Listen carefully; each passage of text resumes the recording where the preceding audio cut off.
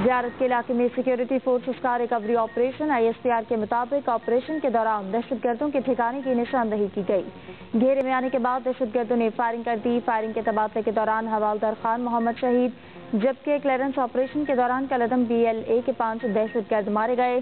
दीगर मुजरिमों को पकड़ने और उमर जावेद की बाजियाबी के लिए क्लियरेंस ऑपरेशन इलाके में जारी रहेगा।